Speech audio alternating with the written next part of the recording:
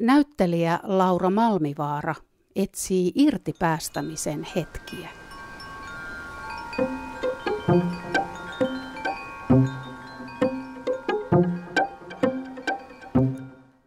Valokuvatessaan toisen ihmisen kasvoja Laura Malmivaara näkee kysymyksen, jonka kanssa itsekin kamppailee.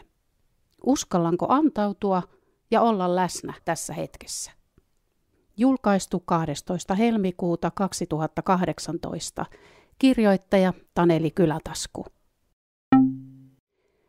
Kaikki muu katoaa ympäriltä, kun Laura Malmivaara katsoo toisen ihmisen kasvoja kameran linssin läpi.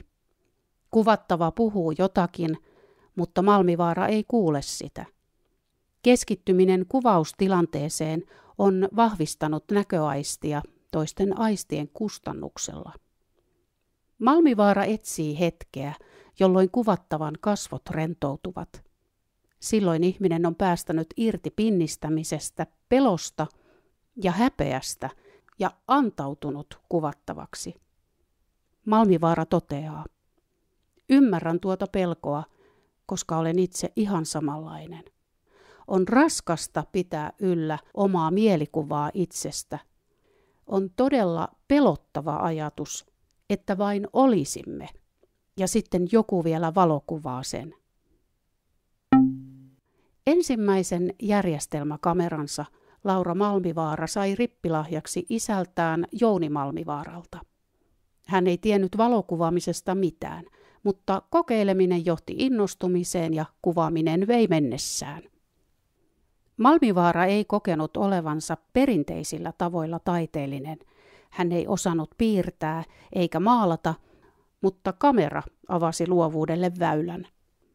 Malmivaara alkoi tarkkailla ihmisiä ja tilanteita ja huomasi asioita, joita hän ei olisi muuten nähnyt.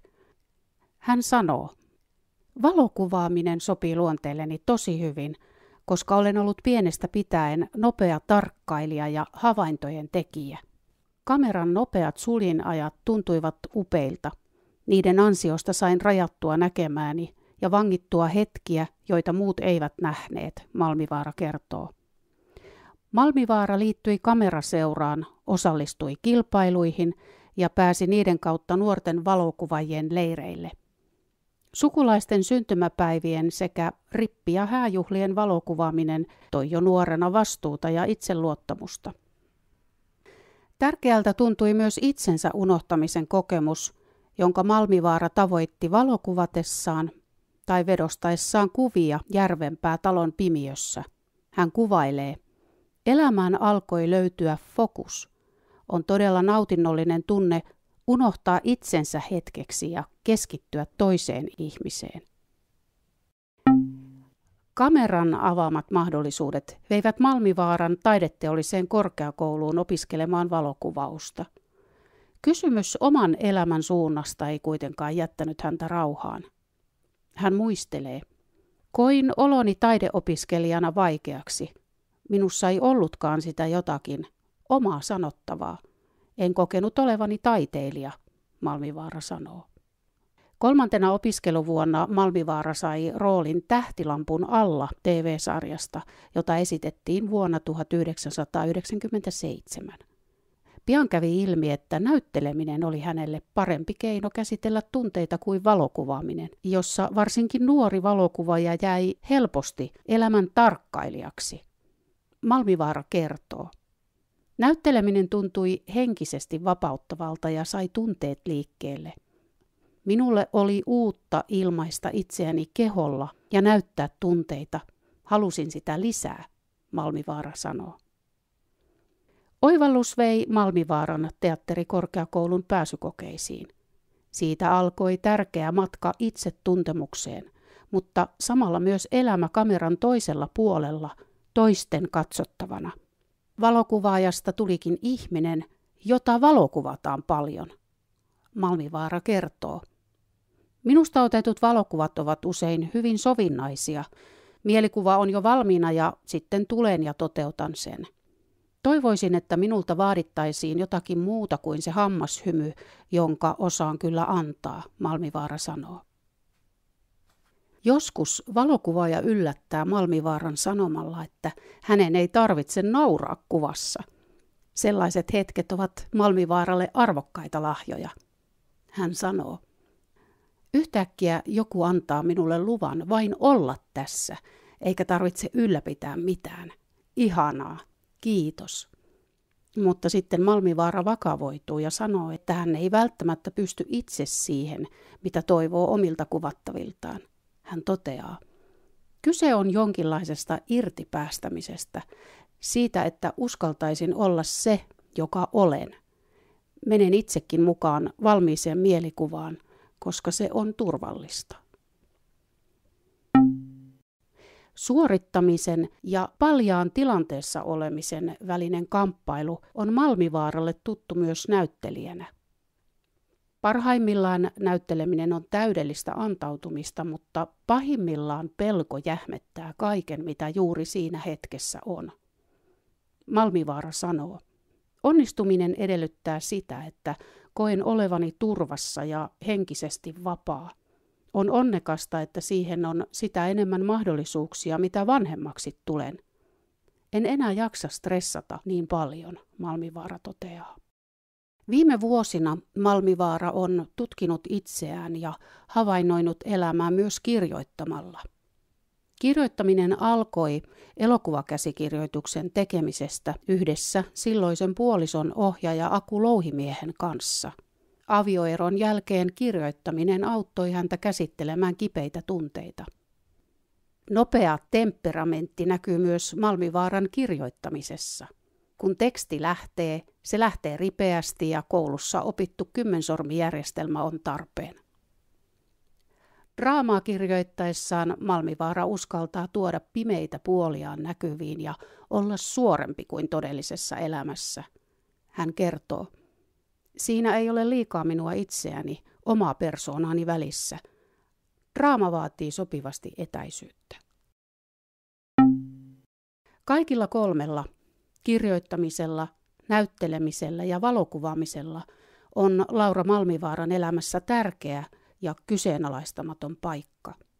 Kaikki kolme vievät hänet lähelle ihmisenä olemisen peruskysymystä, jota on vaikea pukea sanoiksi. Lukiossa Malmivaara luki Jean-Paul Sartren ja Simone de Beauvoirin filosofisia teoksia ja idän uskontojen pyhiä tekstejä. Ennen valokuvausopintojaan Malmivaara opiskeli yhden lukuvuoden teologisessa tiedekunnassa. Hän kertoo, Luin kaikkea sulassa sovussa. En ole koskaan löytänyt kysymyksiini yhtä vastausta, hän sanoo. Malmivaara ei osaa sanoa, uskooko hän Jumalaan vai ei. Vastauksen puuttuminen ei haittaa häntä. Hän toteaa, se tuntuu liian pieneltä kysymykseltä. Minua ovat työllistäneet enemmän ihmisen kuoleman pelko ja tarve kyseenalaistaa itseään – sekä ajatus siitä, miten pieni muurahainen ihminen on tämän uskomattoman rakennelman keskellä. Ihmisen pienuuden ja haurauden kysymykset vaivasivat Laura Malmivaaran sukulaisia jo 1800-luvulla. Hän kokee tiedon lohdulliseksi. Malmivaara kuuluu isän puolelta herännäiseen pappissukuun. Lapsuuden sukukokoukset olivat körttiseuroja, joissa veisattiin Sionin virsiä. Puheissa käsiteltiin uskonnollisia ja hengellisiä kysymyksiä. Körttiläiset sukujuuret tulivat Malmivaaralle uudelleen ajankohtaiseksi joitakin vuosia sitten. Aluksi hän löysi itsensä tutkimasta isänsä teologista kirjastoa, jota säilytetään perheen kesämökillä. Kesällä 2017 Nilsiän Aolansaaressa esitettiin körttien historiaa käsittelevä näytelmä Tuulten leikkikalu. Malmivaara esitti näytelmässä Amanda Malmbergia, joka oli hänen isoisänsä isän, tunnetun körttipapin Nils Gustav Malmbergin puoliso. Lapsuuden muistoissa körttiläisten Jumala on suuri, mutta ihminen pieni ja kumarassa – Mielikuva kyyristelystä romuttui, kun Malmivaara eläytyi aikaisemmin eläneiden ihmisten tarinoihin. Hän kertoo, Löysin tutun ajatuksen itsensä unohtamisesta. Kyse ei ollutkaan siitä, että ihmisen pitäisi mennä köyryyn, vaan siitä, että luovumme haluamisesta ja tahtomisesta, Malmivaara sanoo. Ajatus jäi puhuttelemaan Malmivaaraa. Kyse on pohjimmiltaan samasta kamppailusta, jonka hän kohtaa näyttelijänä ja valokuvatessaan ihmisiä. Malmivaara sanoo. Oma kokemukseni körttiläisyydestä on se, että minun ei tarvitse mitään, ei yhtään mitään. Ei tarvitse tehdä jotakin tai olla tekemättä, vaan jollakin tavalla luovuttaa, riisua vääränlainen yrittäminen. Kun siihen pystyisin, voisin elää loppuelämän vapaana. Jutun on kirjoittanut Taneli Kylätasku. Lukija Outi Ikonen. Juttu on julkaistu 12. helmikuuta 2018. Lisää kuunneltavaa ja luettavaa löydät osoitteesta www.kirkkojakaupunki.fi.